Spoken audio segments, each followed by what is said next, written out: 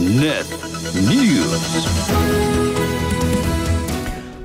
ආයුබෝවන් උදැසන හයයි විනාඩි විසි පහයි. මාධ්‍ය ආචාර ධර්ම සුරක්කමින් ඉදිරිපත් කරන නෙත් නිවස් උදෑසන ප්‍රවෘති ප්‍රකාශයයි මේ.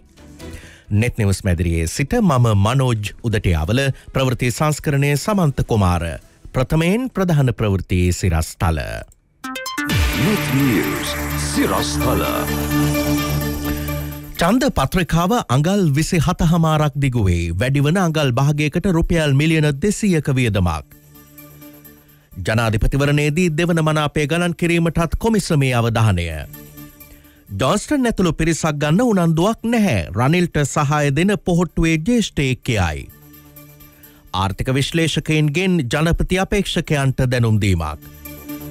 රටම බලා සිටින අරුණ අද ඔලිම්පික් අවසන් පෝර්ව තරගබිමේ. Net news. ඔබ වෙනුවෙන් දිවිහිමියෙන්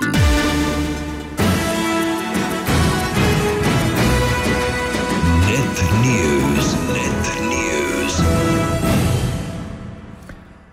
මෙවර ජනාධිපතිවරණය සඳහා චන්දදායකයින් එක් කෝටි හැත්තෑෙක් ලක්ෂ හතලිස් දහස් තුන්සිය පනස් හතරක් සුදුසුකම් ලබා ඇති බව මැතිවරණ කොමිෂන් සභාව පවසනවා. පසුගේ මේ මාසේට අවුරුදු දහට සම්පූර්ණ වූ පිරිස්දේ අතරවන බවයි එම කොමිෂන් සභාව පැවසුවේ. මෙවර ජනාධිපතිවරණය සඳහා වැඩිම චන්දදායකින් පිරිසක් සුදුසුකම් ලබා ඇත්තේ ගම් පහ දිස්ත්‍රික්කයෙන්. එම දිස්ත්‍රික්කේ ලියාපදිංච චන්දදායකින් සංඛ්‍යාව දහට ලක්ෂාසු එක් දහස් එක සේවිසි නවයක් වනවා. කොළඹ දිස්ත්‍රික්කෙන් දාහත් ලක්ෂ හැට පන්දහස් තුන්සිය පනස්ස එකක් සහ කුරුණෑගල දිස්ත්‍රික්කෙන් දාහතර ලක්ෂ දාහත් දහස් දෙසේ විසි හයක් මෙවර ජනාධිපතිවරණයේ ලියාපදිංචි චන්දදායකයින් වනවා. මේ අතර මෙවර ජනාධිපතිවරණයේ චන්ද පත්‍රිකාවේ දිග අඟල් විසි හතයි දශම පහක් වනු ඇති බවයි මැතිවරණ කොමිෂන් සභාව පැවසුවේ. ගියවර චන්ද පත්‍රිකාවේ දිග අඟල් විසිහය දශම පහක් ලෙස පැවතියා. චන්ද පත්‍රිකාවේ අඟල් භාගයක වැඩිවන්නේ නම් රුපියල් මිලියන දෙසියක ජනතා මුදලක් අමතරව වැෑ කිරීමට සිදුවන බවද මැතිවරණ කොමිෂන් සභාව පැවසවා. මෙරට දේශපාලන පක්ෂ හැත්තෑ අටක් මැතිවරණ කොමිෂන් සභාවේ ලියාපදිංචි වී තිබෙනවා. මේ අතර මෙවර ජනාධිපතිවරණය සඳහා අපේක්ෂකයින් දාහත් දෙනෙකු වෙනුවෙන් ඊයේ දිනය වන විට ඇප මුදල් තැන්පත් කර ඇති බවයි මැතිවරණ කොමිෂන් සභාව පැවසුවේ. අගෝස්තු පහලොස් වනදා නාමයෝජනා භාර ගැනීම සිදු කිරීමට නියමිතයි. ජනාධිපතිවරණයෙන් ජයගැනීමට අවශ්‍ය වන්නේ වලංගු චන්ද සංඛ්‍යාවෙන් සයට පණහක් සහ තවත් එක් චන්දයක් පමණක් බව මැතිවරණ කොමිෂන් සභාව පවසනවා. යම්හයකින් මනාප ගණන් කිරීමට සිදුවෝහොත් ඊටද නිලධහරයින් සූදානම් කරවන බව මැතිවරණ කොමිෂන් සභාවේ කොමසාරිශ්චනරාල් සමන්ශ්‍රී රත්නායක නෙත්නිවස් වෙත කියා සිටියා. එකක් තමයි 151ක් නෙමෙයි අවශ්‍ය වෙන්නේ වළංගු ඡන්ද සංඛ්‍යාවෙන් 150කුත් තව එක ඡන්දයක් කියන එක. මේක ප්‍රතිශතයක් විතර 51ක් කියන එක නෙවෙයි. වළංගු ඡන්ද සංඛ්‍යාවෙන් 150කුත් තව එක ඡන්දයක් තමයි ජයග්‍රාහකයන්ට තියෙන්නේ. මේ ප්‍රථම වතාව නෙමෙයි මේට ඉහත ප්‍රතිශත මෙතන ප්‍රතිශත අවස්ථා හතේදීම මේ මනාප ලකුණු කිරීම සහ මනාප ගණන් කිරීම ගැන කතා කරා. ඉතින් බොහෝ වෙලාවට පෞද්ගලික මැතිවරණ හත තුරුදීම මනාප ගණන් කිරීමක් සිදු නොවන නිසා තත්ත්වයක් තියෙනවා. අපි මේ වර්තමානයේ සමහර පාසල් ගණන් කරන ඒ කියන එක නැහැ කියලා. කෙසේ වෙතත් අපි මෙතන කමිටු සමිතිය මේ පනතට අනුව නීති අනුකූලව කටයුතු කරන්නේ. ඒ අනුව අපි අපි අපේ සියලුම ගණන් කිරීමේ ශාලාවට අවශ්‍ය කරන්නා වූ සියලුම ආකාරයේ අමුද්‍රව්‍ය ලිපිඩ් ද්‍රව්‍ය සහ අපේ සියලුම අදාළ වෙන සියලුම කාරණා රබර් බෑන්ඩ් එකේ ඉඳන් එල්පෙනේ තියෙන සියලුම දේවල් අපි එන්න සපයන්නේ මනාප ගණන් කිරීමක් වුවොත් දරන්න වෙන අවශ්‍ය කරන සියලුම දේවල් සපයන. මොකද ඒක අපිට මැදකදී මේක කරන්න බෑ. මනාප එන්න අපි එන්න කොහොමත් මේ මනාප ගණන් කිරීමට අපි භෞතිකව පාවිච්චි කරන භාණ්ඩ පොඩු භාණ්ඩ සහ ඒ සම්බන්ධයෙන් අපි මූලික වේදමක් හදාරනවා.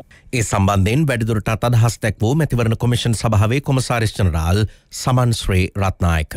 බොහෝට වැරදි මතයක් යනවා මේ දෙකේව ගණන් කරලා දෙවෙනි මනාපේ තුන්වෙනි කරලා තුන්වෙනි එහෙම දෙයක් නැහැ. මනාප ගණන් කිරීම තමයි සිදු කරන්නේ. එතකොට ඒ ආකාරයට මේ විදිහට තුන්වෙනියාගේ ඉඳන් ඉතුරු තරගේ ඉන්න සියලුම අපේක්ෂකයන්ගේ ඔවුන්ගේ පත්‍රිකාවල තියෙන දෙක සහ තුන මනාප මේ තරගේ ඉන්න ඇයට යොදා ලබා දීලා තියෙනවා. ඒ කොටවල එකතු වෙන. එහෙම නැතුව තරගේ නැති තැන මනාප දෙන ඒවා ඉවත් වෙනවා. එහෙම ගත්තයින් පස්සේ අවසානයේ මම මේ තරගේ ජයග්‍රාහකයා වෙන්නේ වළංගු ඡන්ද සංඛ්‍යාවේ 50ක් තව එක ඡන්දයක් ගන්න කෙනා. දැන් මේ ඉතුරු වෙලා ඉන්නේ. ඒ සහ B කියන තරඟකරුවන් දෙදෙනාට අපේක්ෂකයන් දෙදෙනාට අවසානයේ බලන ඔවුන්ගේ ඡන්ද පත්‍රිකා ගොඩේ කීයක් ඡන්ද පත්‍රිකා තියෙනවා. එහෙම වෙලාව අනිවාර්යයෙන් මේ දෙදෙනා එක්කෙනෙක් වැඩි ඡන්ද සංඛ්‍යාවක් අරගන්නවා. සෞ ජයග්‍රාහකයා බවට පත් වෙනවා. රාජ්‍ය අමාත්‍යවරුන් වන ඉන්දික අනුරුද්ධ ප්‍රසන්න රණවීර සහ පාර්ලිමේන්තු මන්ත්‍රී ජොන්ස්ටන් ප්‍රනාන්දු ජනාධිපති රනිල් වික්‍රමසිංහ මහතාට සහය පල කිරීමට එක් කර නොගන්නා බවට මේ වන විටත් ජනාධිපතිවරයාට සහය පල කර සිටින ශ්‍රී ලංකා පොදු ජන පෙරමුණේ ජේෂ්ඨාමාත්‍යවරයෙකු පවසනවා. ඔවුන්ගේ ප්‍රතිරූපය සම්බන්ධයෙන් පවතින ගැටලු හේතුවෙන් එම තීරණයගෙන ඇති බවයි එම ජේෂ්ඨමාත්‍යවරයා නෙත් නිවස් වෙත කියා සිටියේ. මේ අතර ඉදිරි ජනාධිපතිවරණය සඳහා අපේක්ෂකයෙකු ඉදිරිපත් කිරීමට ශ්‍රී ලංකා පොදු ජන පෙරමුණ ගත් තීරණය හේතුවෙන් පක්ෂනායක හිටපු ජනාධිපති මහින්ද රාජපක්ෂ මහතාද අසරණ වී ඇතැයි අමාත්‍ය ප්‍රසන්න රණතුංග පවසනවා. ජනාධිපතිවරණය සඳහා පක්ෂයෙන් අපේක්ෂකයෙකු ඉදිරිපත් නොකළ යුතු බවට වන ස්ථාවරයක හිටපු ජනාධිපතිවරයා සිටි බවයි නෙත් නිවස් වෙත අදහස් දක්වමින් අමාත්‍ය ප්‍රසන්න රණතුංග පැවසුවේ. පක්ෂයේ සුළු පිරිස්සකගේ උවමනාව මත ජනාධිපති අපේක්ෂකයෙක් ඉදිරිපත් කිරීමට තීරණය කර ඇති බවද අමාත්‍යවරයා කියා සිටියා. මහින්ද මහත්තයත් එක්ක කතා කර. අපි හතලියක් විතර ගිහිල්ලා එතුමාත් එක්ක කතා කරගෙන එතුමා හිටිය ස්ථාවරේ තමයි. පක්ෂය මේ වෙලාවේ කවුරුත් දැමිය යුතු නැහැ. අවශ්‍ය අයට ඕනම කෙනෙකුට උදව් කරලා ඒ ඔහුට සහයෝගය ලබා දෙන්න ඕනි කියලා පක්ෂය බෙදෙන්නේ නැතුව. ඉතින් ඒක තමයි එතුමා හිටපු ස්ථාවරේ අපි ඒ ස්ථාවරය තුල වැඩ කරගෙන ගියා. අවසානයේදී තම තමන්ගේ පෞද්ගලික අවශ්‍යතා වලට මේක එකව්වෙනි බැරි කණ්ඩායම තමයි පක්ෂය නම ඉස්සරහට දාගෙන මේ කටයුත්ත කරන්නේ. මේක නෙමෙයි පොලේ ජනමතය පොහොට්ටුවේ මිනිසුන්ගේ ජනමතය මේක නෙමෙයි ඒ නිසා මහින්ද රාජපක්ෂ ජනාධිපතිවරයා උනත් අද අසන්න තත්වයක පත් වෙලා ඉන්න මං හිතන්නේ කිසිම වෙලාවක ඔය නම් කරන කෙනා ගැන මන් දන්නේ යව කවුද කියන එක අකුරු හතරේ කෙනා ගැන ඒ කෙනා මේකට දැම්මොත් මං හිතන්නේ එතුමාට වේදිකාවකට නැගලා එයා වෙනුවෙන් පෙනී හිටින්න පුළුවන් වෙයි කියලා. ඔබතුමාලා තවත් වරක් මහින්ද රාජපක්ෂ දැනටවා හෝ පොදු ජන පෙරමුණ සමග යළිත් වරක් සාකච්ඡා කිරීමට බලාපොරොත්තුවක් නැද්ද මේ සම්බන්ධයෙන්? නෑ අපි දිගින් දිගටම කතා කරනවා. අද හෙට වුණත් අපි කැමති මේ එක පොහොට්ටුව බෙදාගෙන බෙදෙන්නේ නැතුව කණ්ඩායමක් හැටියට මෙතන තියෙන්නේ මෙතන බහුතරය පාර්ලිමේන්තු මන්ත්‍රීවරුන්ගෙන් පළාත් පාලන මන්ත්‍රීවරුන්ගේ බහුතරය කොතනද ඉන්නේ කියන එක අද මාධ්‍ය තුලින් මුළු රටම දකිනවා. එතකොට බහුතරයේ කැමැත්තට පිටින් ඇයි මේ කටයුතු කරන්නේ? ඊළඟට මේ මන්ත්‍රීවරු පාර්ලිමේන්තු ඒවා පළාත් සභාව ඒවා පළාත් පාලන ඒවා අමතක කරන් බහුතර ජනතාවක් රනිල් වික්‍රමසිංහ මහතාව ඉල්ලනවා නම් ඇයි අපි ඒ අවස්ථාව නොදෙන්නේ කියන එකයි මට තේරෙන්නේ නැත්තේ. ඉදිරියේදී ශ්‍රී ලංකා පොදු ජන පෙරමුණේ තවත් මන්ත්‍රීවරුන් රැසක් ජනාධිපතිවරයාට සහය පල කිරීමට එක්වන බවද අමාත්‍ය ප්‍රසන්න රණතුංග වැඩිදුරටත් සඳහන් කළා. මේ අපි ඉන්න ඇමතිවරු රාජ්‍ය ඇමතිවරු බොහෝ දෙනෙක් ගෝඨාභය රාජපක්ෂ ජනාධිපතිවරයා විසින් දීපු තනතුරු වල ඉන්න අය. හැබැයි අපි ඒ තනතුරු වල ඉඳගෙන අපිට කරන්න බැරි වෙච්ච දේ අපේ ආණ්ඩුවට අපේ ජනාධිපතිවරුන්ට අපේ අගමැතිවරුන්ට කරන්න බැරි වෙච්ච දේ වර්තමාන ජනාධිපතිතුමා ඒ කණ්ඩායමත් එක්ක කරලා දැන් රිසල්ට් පෙන්නලා තියෙනවා. ඉතින් එහෙම එකේ යම් කිසි කාර්යයක් කයිය ගහන්න නැතුව වැඩක් කරලා පෙන්නපු නායකයෙකුට දෙන්න ඕනේ කියන එක තමයි අපිට හිතන්නේ. ඒ වගේම අපි ජනාධිපතිතුමාට කිව්වේ ඔබතුමා එක්සත් ජාතික පක්ෂයෙන් මේ ඔබතුමා ස්වාධීන කෙනෙක් හැටියට එන්නේ. එතකොට සියලු දේශපාලන පක්ෂවලට එක්ක වෙන්න පුළුවන් කියලා. ඉතින් එතුමා ඒකටත් ගරු කරලා ස්වාධීන අපේක්ෂකයෙක් හැටියට ඉදිරිපත් වෙලා ඉන්නවා. ඊළඟට සියලු ජාතීන්ට සියලු ආගම් වලට ගරු කරන නායකයෙක් හැටියට ජාති ભેද ආගම් ભેද නැති නායකයෙක් හැටියට ඒ හැමෝටත් එන්න පුළුවන්කමක් මේ පරිසරය තුල තියෙනවා. ඉතින් ඉදිරියට තවත් පොහොට්ටුවේ බොහෝ දෙනෙක් අපි දන්නවා පාර්ලිමේන්තු මට්ටම නෙමෙයි පළාත් සභා මට්ටම විශේෂයෙන්ම පළාත් පාලන මට්ටමේ අය අපිත් එක්ක එක්කවෙමින් යනවා.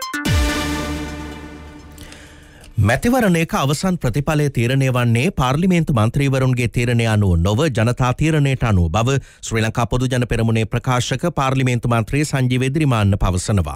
වර්තමානයේ එම පක්ෂයේ මුහුණ පා ඇති ගැටලුකාරී තත්ත්වය සම්බන්ධයෙන් නෙත් නිවස් කළ කරුණු විමසීමකදී ඔහු මෙම අදහස් පළ කළා. ශ්‍රී ලංකා පොදු ජන පෙරමුණේ කැදවුම්කරු විදියට තමයි රෝහිත අබේගුණවර්ධන මැතිතුමා හිටියේ. දැන් එතුමත් රනිල් වික්‍රමසිංහ මැතිතුමාට සහාය ලබා දෙන්න කටයුතු කරනවා කියලා තීරණයක් කරලා තියෙනවා. දැන් මේකත් එක්ක ජනතාවට වෙන මතයක් යන්න පුළුවන් ඔබතුමාලගේ ප්‍රබලයෝ දිස්ත්‍රික් නායකයෝ යන එකත් එක්ක මොකද මේ තියෙන තත්ත්වය? එහෙමයි මම ඔහු සම්බන්ධව පෞද්ගලික විවේචනයක් කරන්න මේක අවස්ථාවක් කරගන්නේ නැහැ. මොකද අපේ දේශපාලනයේ තියෙන ඊට මෙහා සදාචාර රේඛාවකින් මේ පිට හින්දා. හැබැයි මම එක දෙයක් පැහැදිලිවම කියනවා. අපි පාර්ලිමේන්තු නියෝජිතයන් පක්ෂය හැර යාමකට මීට වඩා බලවත් ප්‍රශ්නයකට මුහුණ දුන්න 2015 දී. හැබැයි අපි මහජනයා සමග පවත්වන සංවාදයෙන් මැතිවරණ ජයග්‍රහණ දක්වාම ඒ සටන අරගෙන ගියා. ඒ ක්‍රමයමයි අපි මේ මොහොතේ පාවිච්චි කරන්නේ. උදාහරණයකට කිව්වොත් පොහොට්ටුව වෙනුවෙන් ඡන්දෙ දීපු කළුතර දිස්ත්‍රික්කයේ ඡන්දදායකින් 1,543 දෙනෙක් මට ඡන්දෙ දුන්නා. හෙට උදේ මං වෙනස් වුණයි කියලා මායේ පිටිපස්සෙන් 1,50,000 ගාණක් මගේ පස්සෙන් එන්නේ නැහැ කියන එක මම දන්නවා. ඒක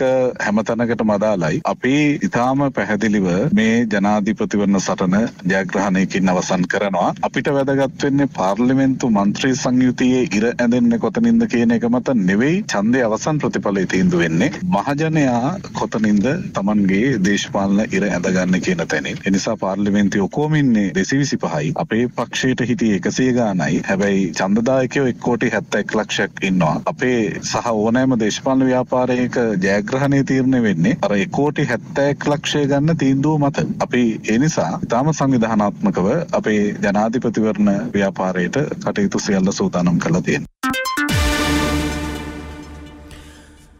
මැතිවරණ පොරොන්දු ඉදිරිපත් කිරීමේදී නිසි අධ්‍යයනයකින් අනතුරුව ඉටු කළ හැකි පොරොන්දු පමණක් ඉදිරිපත් කරන්නේ ආර්ථික විශ්ලේෂකයින් ජනාධිපතිවරණ අපේක්ෂකයින්ගෙන් ඉල්ලා සිටිනවා.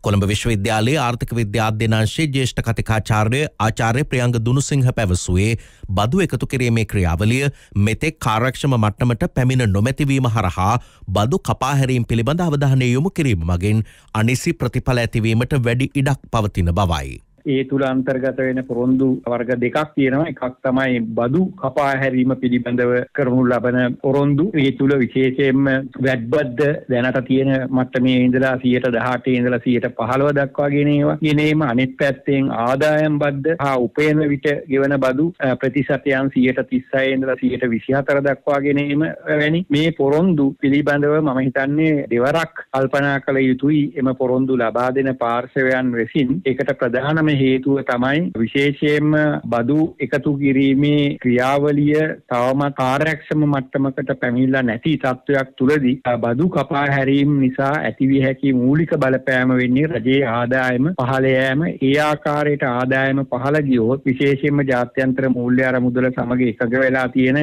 ඒ ඉලක්කයන් සපුරා ගැනීමට හැකියාවක් ලැබෙන්නේ නැහැ. මෙවන් අවස්ථාවක ඒ ඒ පක්ෂවල ආර්ථිකය පිළිබඳ දැනුමක් ඇති පිරිසකට වැඩි වගකීමක් පැවරෙන බවයි මෙහිදී වැඩිදුරටත් ප්‍රකාශ කෙරුණේ. ක්‍රමානුකූලව යථාවත් වෙමින් එන ආර්ථිකය නැවත වරක් අර්බුදයට ඇද දැමීම. ඒ නිසා මම හිතන්නේ දේශපාලන පක්ෂවලට ඒවයි නායකයන්ට වගකීමක් තියෙනවා ජනතාවට පොරොන්දු ලබා දීමේදී කොතෙක් දුරට ඒ පොරොන්දු යථාර්ථවාදීව කළ හැකිද කියන කාරණාව කල්පනා කරලා විශ්ලේෂණය කරලා පොරොන්දු ලබා දීම අනිත් පැත්තෙන් පොරොන්දු යම් විදියකට ඉටු නොකරන තත්වයක ඇති වෙන අනිත් ප්‍රතිඵලය තමයි දේශපාලන අස්ථාවරත්වයක් නිර්මාණය වීමට ඉඩ තියෙන එක.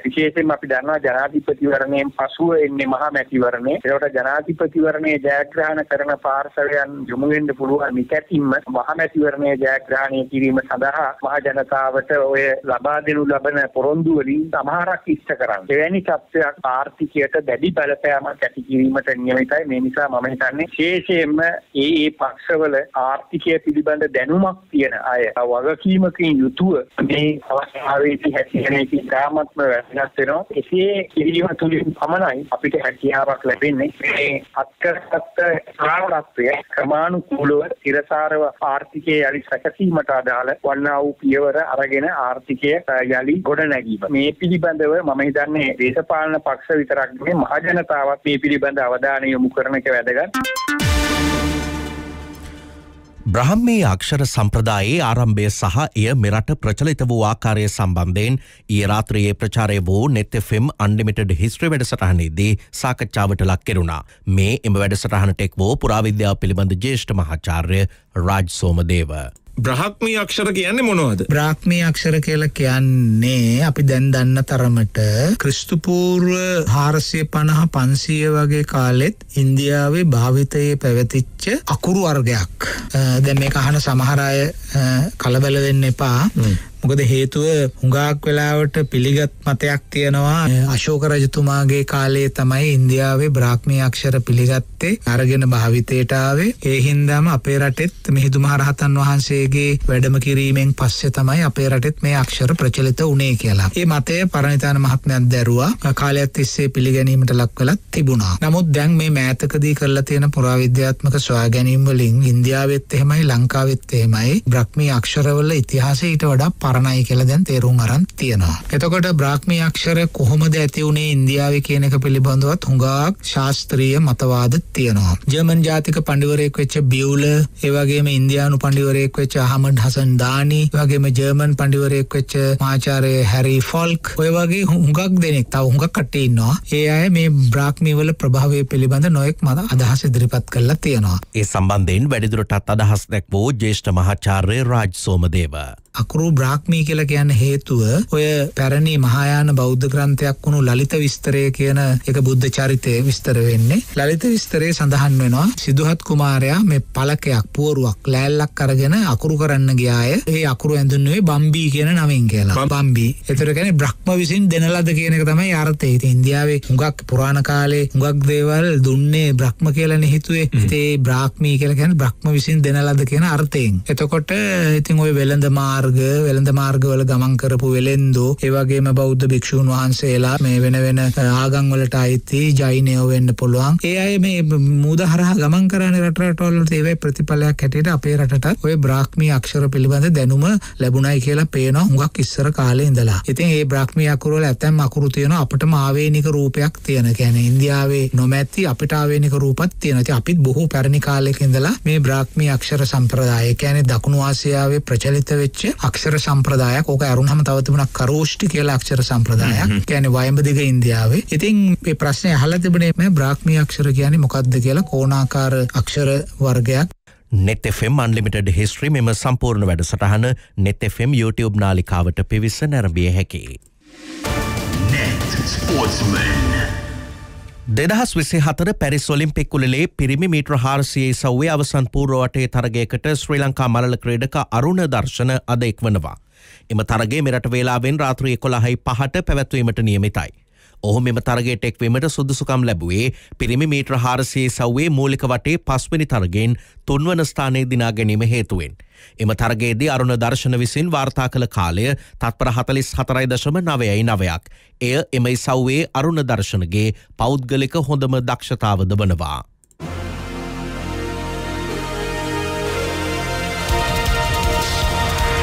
Net News. නෙත්නෙවස් නිමාව මිළඟ නෙත්නෙවස් දහවල් දොළහට. එතෙක් පැන් පැය නෙත් ටොප්නිියෝ සෆ්දියාව බලාපොරොත්තු වන්න. වැඩිතොරතුරු සඳහා නෙත්නිවස් YouTube නාලිකාවට සහ නෙත්නිවස්.ල්ක අපගේ වෙබ් අඩවියට පිවිසන්න. Net News. ඔබ වෙනුවෙන් දිවිහිමියෙන්.